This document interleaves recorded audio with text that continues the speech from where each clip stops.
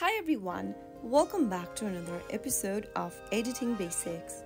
In this video, we will be learning how to trim video in KineMaster. Trimming a video is basic yet essential function in video editing. If you want to learn how you can do it using KineMaster, then here's how you can do it. First of all, go ahead and launch open the KineMaster application and add the video you want to trim to your KineMaster project timeline. Now after you end up in this timeline where you've imported a video clip, select the video and highlight it. Now, go ahead and click on trim slash split on the right hand tool. You will then be able to see the trimming tools on the screen. Go ahead and use the marker at the bottom in red in order to select a particular area that you want to start trimming from. Now after selecting the area, go ahead and choose. If you want to trim left, right, split the video into two halves or split and insert freeze frame.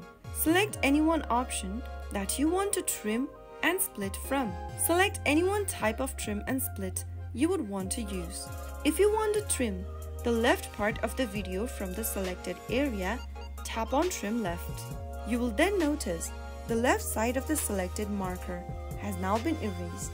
Similarly, if you want to trim the right side of the video, simply tap on Trim Right. If you want to split the video into two, select Split and you will see two different split parts from the same video on the timeline. If you want to split and insert freeze frame, select the fourth option.